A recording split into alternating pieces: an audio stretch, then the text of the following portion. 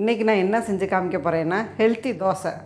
Healthy தோசைன்னா அதில் சேர்றதெல்லாம் என்னென்னா கேப்பை சோளம் மக்காச்சோளம் பின்ன தினை மொளையரி இதெல்லாம் கூட சேர்த்து ஒரு தோசை.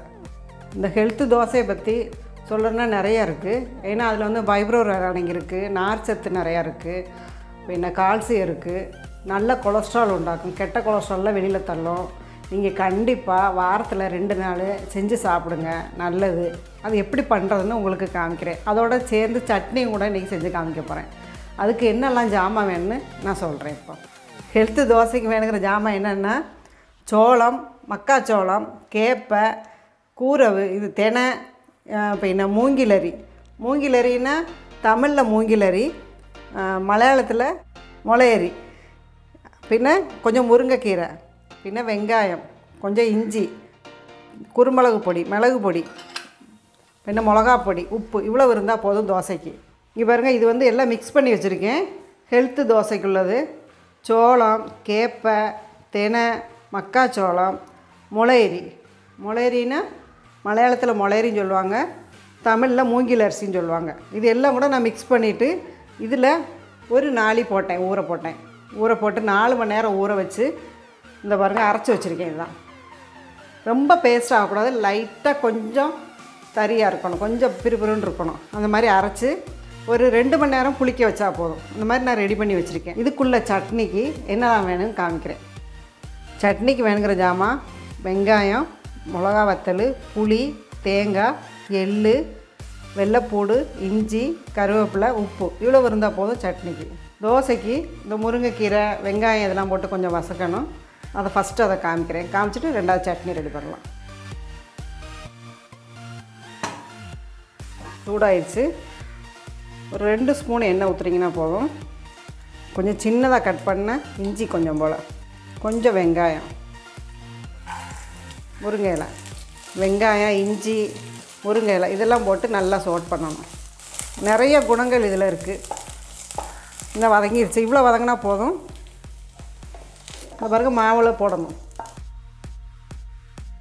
மாவில் போட்டுட்டு இந்த சட்டியை திருப்பி அடுப்பில் வச்சுட்டு எதுக்குன்னா அது சட்னிக்கு வேண்டிட்டு கொஞ்சம் பெப்பர் பொடி.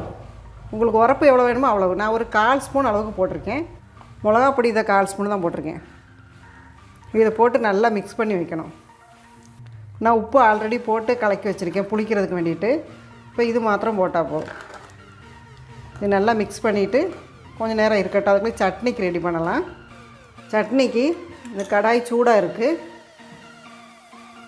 ஒரு ரெண்டு ஸ்பூன் எண்ணெய் ஊற்றுறீங்கன்னா போதும்.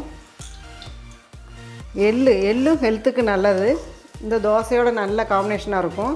நான் ரெண்டு ஸ்பூனு எள்ளு ஒரு மூணு ஸ்பூன் போடுங்க எள்ளு போதும். ரெண்டு மூணு ஸ்பூன். இந்த வெடிக்கும் போது இந்த மிளகாவத்தை ஒரு பத்து மிளகாவத்தை வச்சுருக்கேன். இதோட கொஞ்சம் வெங்காயம். கொஞ்சம் போல் இஞ்சி போடணும்.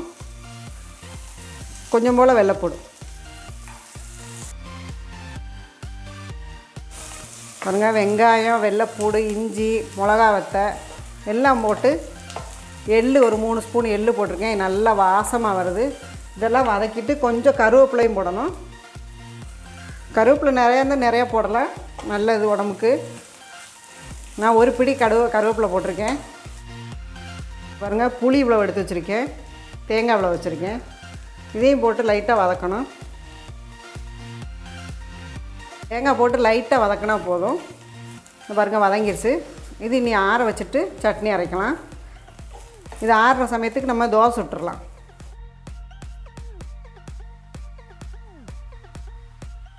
இப்போ தோசை சுடலாம்.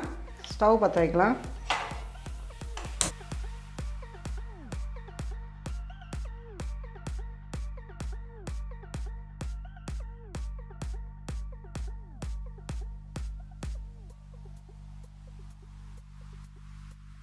எண்ணெய் ஊற்றுறேன் நான்?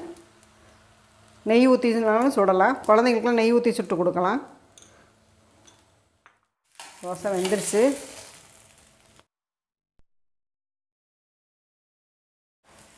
வெந்துருச்சு. எடுக்கலாம்.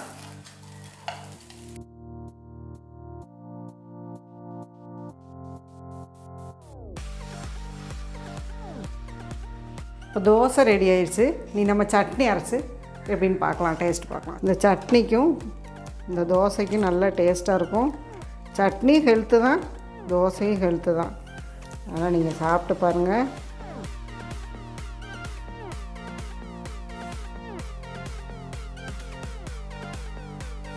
ஒரு அரை ஸ்பூன் அளவு உப்பு போட்டிருக்கேன்.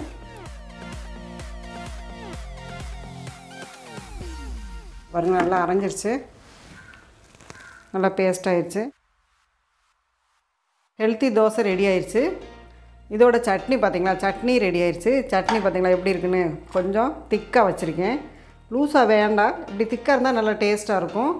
தாளிப்பு போடுறதுனா போடலாம். நான் தாளிப்பு போடலை. உங்களுக்கு தாளிப்பு போடணும்னா போட்டுக்கோங்க.